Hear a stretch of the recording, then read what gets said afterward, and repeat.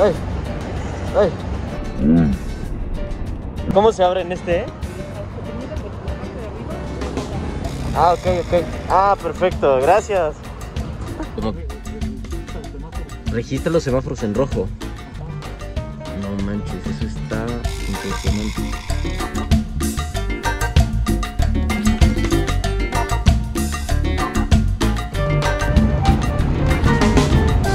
¿Qué tal mi fraternidad de YouTube? Sean bienvenidos a otro video más. El día de hoy estamos acá en Ciudad de México para hacer una prueba de los taxis que tiene esta ciudad. Vamos a hacer una comparativa de las diferentes alternativas que tienen las marcas que generan este servicio. Y pues ya tenía un rato que quería hacer este video, así que acompáñenme. Y bueno, vamos a calificar a todos estos taxis con tres variables. La primera, la comodidad. ¿Qué tan cómodos son sus coches? Eh, obviamente basados en lo que vamos a pedir. La segunda, eh, qué precio tienen, o sea, si realmente vale la pena pagar tanto por un Tesla, por un Uber un poco más caro. Y la tercera, la, co- la comodidad del manejo, ¿no? En, el sentido de que cuánto tardan en llegar, muchas veces no es eh, lo que regularmente esperamos, siempre se tarda un poquito más. Así que, base estas variables, pues vamos a comenzar. Así que bueno, taxi.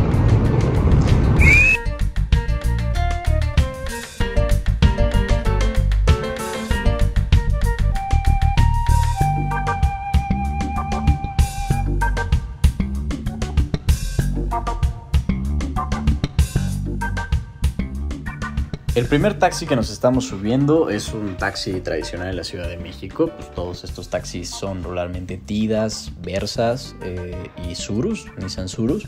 Eh, pues los interiores son eh, normales. Antes estaban pintados de verde, no el interior. Yo recuerdo que era por fuera de verde y también había bochitos. Pero en estos taxis, pues la verdad es que el viaje es eh, pues nada más que nada que destacar. Todo cómodo, todo tranquilo.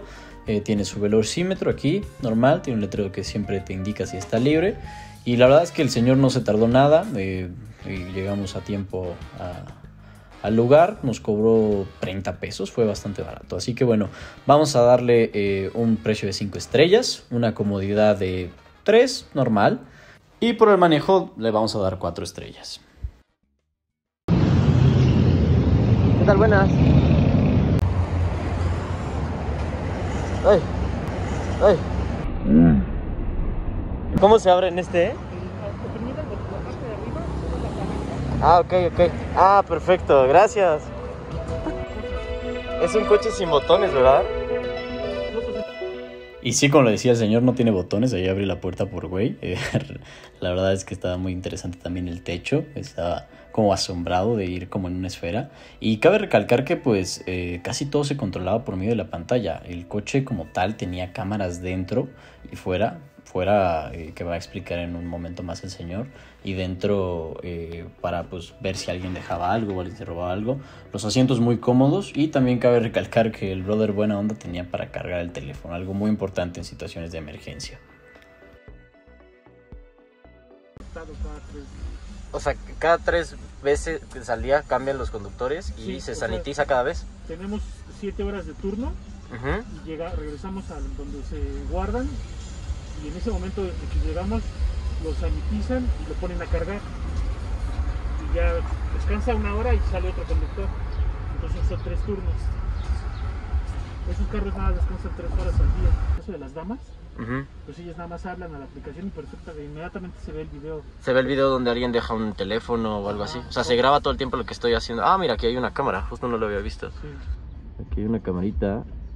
Perfecto. Y, y pues igual, bueno, los sensores, que eso me impresiona bastante. Cómo registra incluso si nada más es un coche el de adelante o una camioneta, la, digamos, la que tengo al lado. O sea, como registra los semáforos. registra los semáforos en rojo. Ajá. No manches, eso está impresionante. Y si por ejemplo si me acerco más empieza a marcar la distancia de que ya estoy muy cerca, ya se en Uh, amarillo. ya se pone en amarillo. sí. Ah, ok, ok. Si me acerco más, ya empieza a medir en centímetros. Y empieza a sonar incluso. Exactamente. Muy interesante.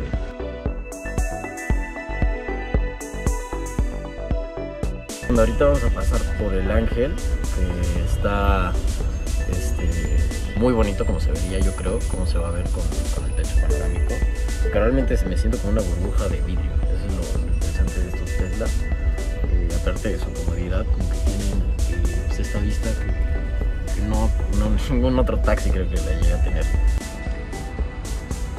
Realmente se ve increíble con el Tesla. Sí, justo esta vista, ¿no? O sea, realmente. Pinches árboles.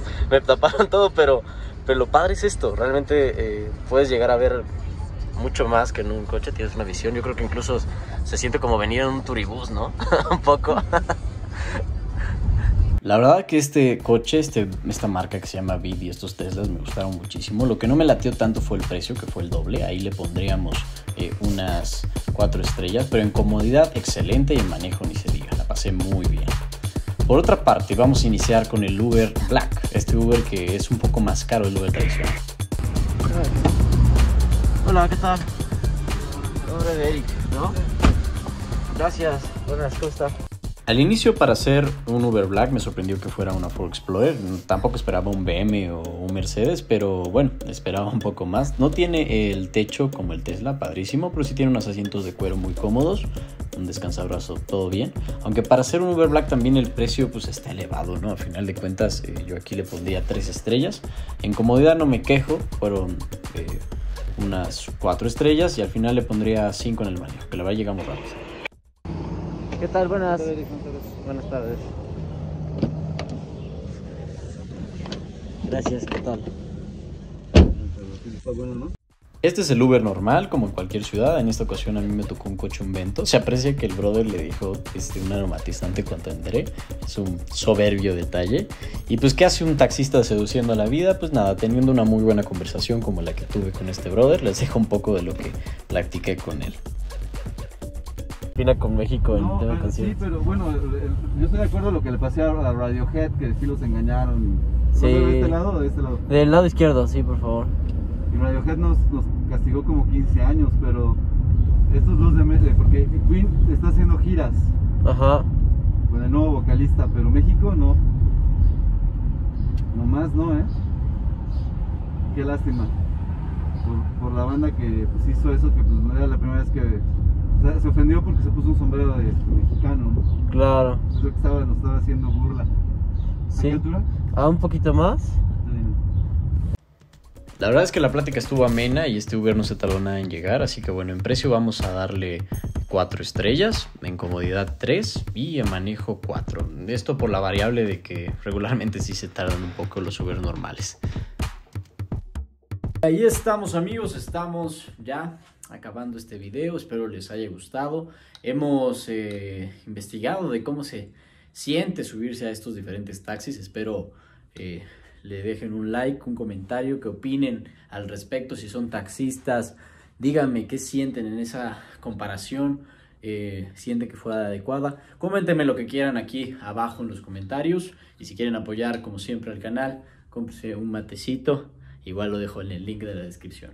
Muchas gracias por ver, amigos míos, mi fraternidad de YouTube. Ya saben que los aprecio los quiero mucho y nos vemos en la próxima.